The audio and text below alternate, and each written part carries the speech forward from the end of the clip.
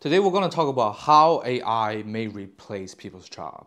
On March 21st, OpenAI and UPenn collaboration have a research paper talk about how their own product, GPT, may replace or influence the markets of labors in US specifically. And I think this is really worth sharing because it may change your career path completely after you watch this video.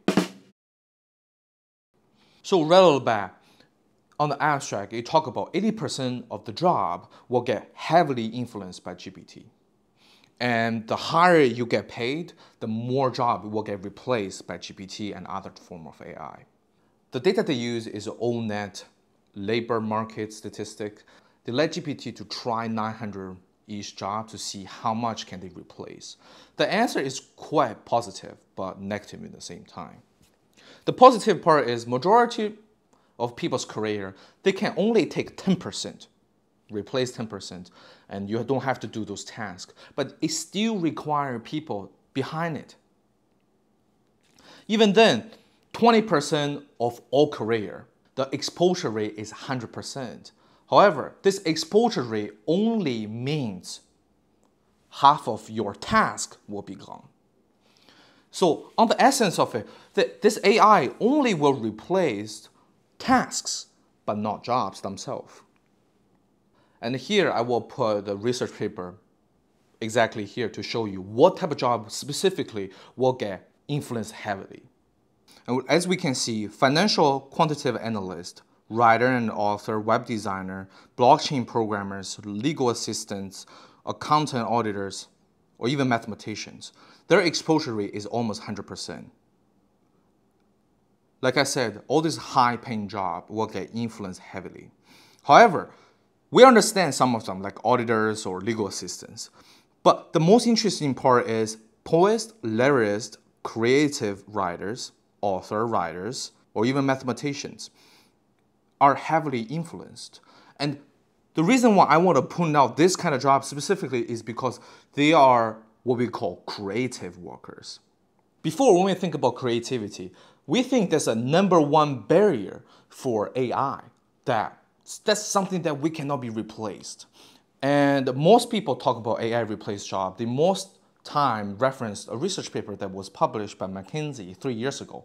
And they have a conclusion that creativity are the one who make people win over AI. However, right now, it seems like creativity jobs are the first one to go.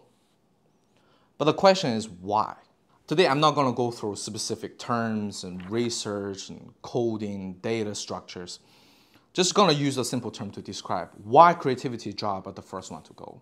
It's because in the early stage of ChatGPT 3 even, their programmer surprised found out they have a chain of thoughts, which is the source of creativity. In another term, this AI program have ability to think.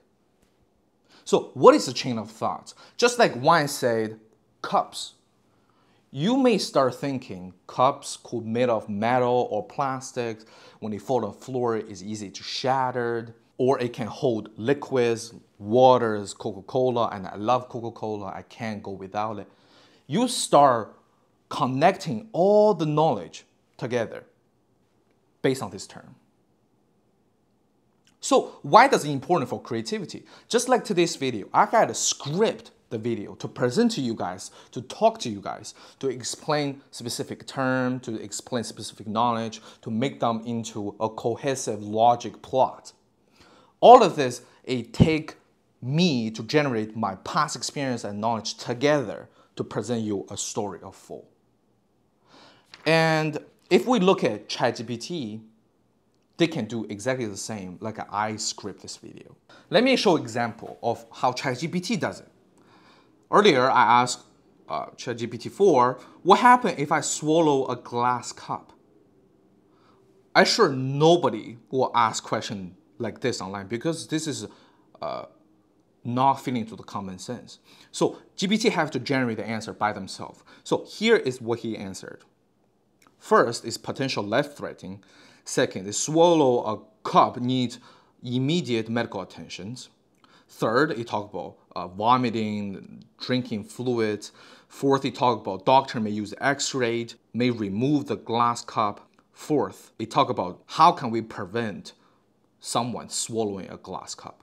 This answer at least make me understand, the ChatGPT understand what does it mean swallow, what does it mean glass cup, what is the common sense of after swallowing something, what's the procedure of it, what's the example of in the past, what's the doctor, what's the x-ray, and how can we prevent it. All of this information was generated by chain of thoughts. Since GPT have a way bigger knowledge and data set, and they can connect more and more dots, therefore, they can create a bigger, better cohesive story than all other creativity jobs. Their connection is so big, their chain of thoughts is so big, so wide, so deep. We even need another new word. If you ever listen to any GPT related video, we talk about it, called prompting engineering. Basically, is help the GPT to narrow down your chain of thought to become a little bit less creative, more practical. So does it mean your job is safe after this research paper result? The answer is no. AI not gonna take your job away. However, other people will. Just like you and your colleague is doing same jobs. If your colleague can double amount their productivities with AI helping, which means there's a less job to do and you may get fired because they may take your portion of work. Your boss look at it and say you're redundant. One significant example is one of the most famous AI designer. He used to work in OpenAI and he get headhunt to Tesla, become a chief of AI designer. Back to the ChatGPT 3 ages, he already published tweet talking about how 80% of his code was outsourced already he saved 80% of time every day that to allow him do more, research more, learn more. And in the research paper, they even specifically talk about how other people may replace your job. They give example of UI designers. UI designer exposure rate is 100% and 50% task gonna be gone. The people who gonna replace UI designer will be market strategist, their job essentially will turn into UI design, front end coding, communication with departments, doing sales, promotions, beta testing. They will be direct responsible for the ending result. How much sale did they get? Right now, this one person may perform a whole department's job or on the essence of it, who will get replaced? If your job every day is go ask your boss, what should I do today? And you function like a tool. Someone have an idea, they will come up to you say, hey, can you help me to achieve that? You will get replaced. With AI's assistance, the people who can judge what job should be done, set up the standard, respond for the ending result, facing the direct consequences of it, like entrepreneur or a boss, they have a better chances to survive compared to the tax executors or people who function like a tool.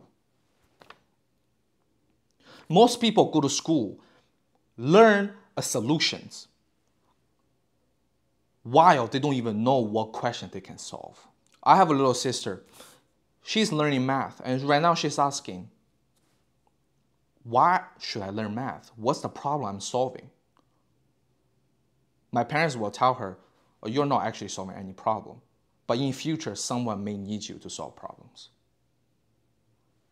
And that mindset will 100% get my sister's job replaced in future. So let's look more in detail. So how can we adapt to this new working environment, become a new type of white collar? And the most scary parts of the whole research paper coming up.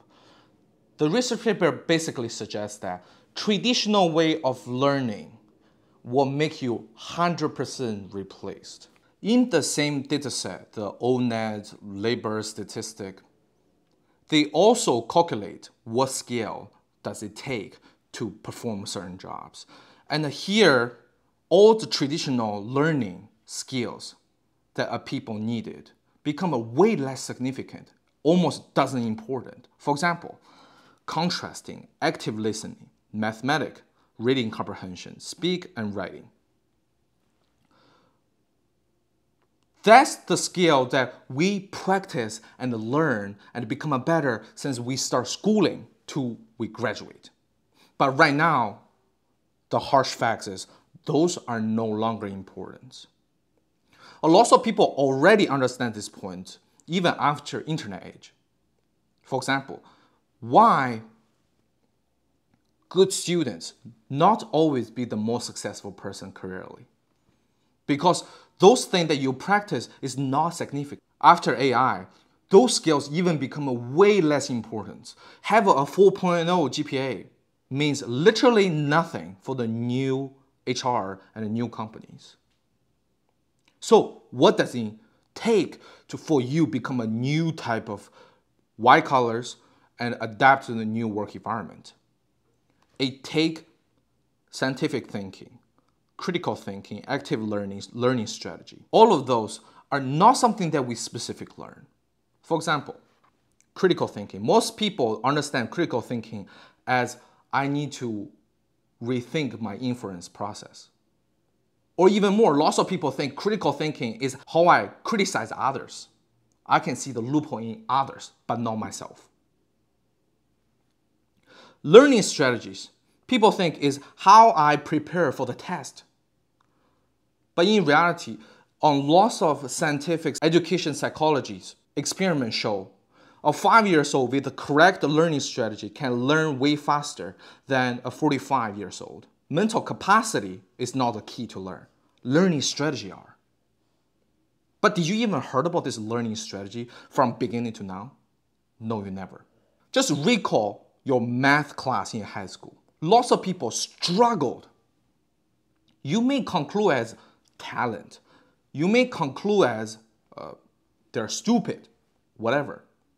But the reality is, learning strategy are the number one problem why people don't have a good comprehension on math. But you never learned this before. So what are those four scale and why is it important? Why good students not always have a good result? That's another big issue that we need to discuss. I will 100% make another video of it to teach you what it is, how we learn it. But in the end, I want to mention this. If you cannot adapt to the new working environment, become a new type of uh, workers. AI only gonna create more and more difficult for you. You're gonna get replaced. You're gonna become valueless for companies, for society. It's only a matter of time. If for those people can turn around, can adapt, can learn better, AI will be your best friend. They will assist you way faster, accelerate you to a higher paying job. That will be all for today's video. Thank you so much for watching and stick to the end. My name is Paul. I see you next time. Thank you very much.